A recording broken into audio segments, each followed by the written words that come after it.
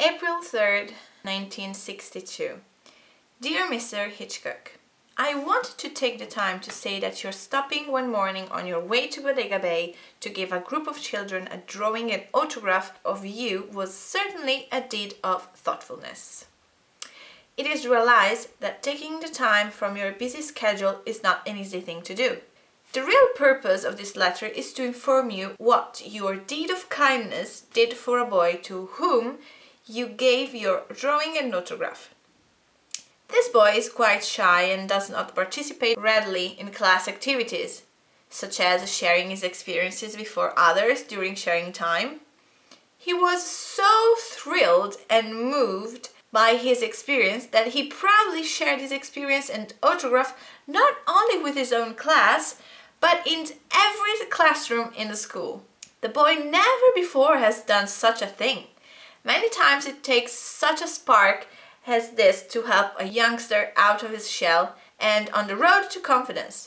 You don't realize what your act of kindness has done for this child. I realize that many other people since then have tried to take advantage of the same opportunity and this has made it difficult and impossible for you to fulfill.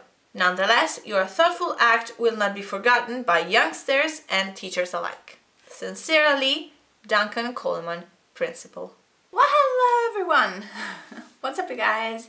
Today is going to be a very brief and short video because uh, I just want to announce the two, two, two winners of the Sherlock giveaway. And what's the best thing you can possibly wear when you announce the winners of a Sherlock related giveaway rather than a Narcos t-shirt?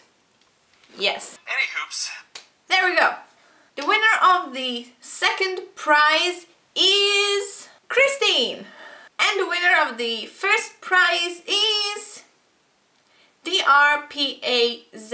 So congratulations to the winners and if you didn't win, I'm so sorry but thank you for having been part of this giveaway and I will do something more, other giveaways, maybe not just about Sherlock, maybe other stuff. I hope you will participate uh, the next time as well. See you next week for another video. With another video. Bye!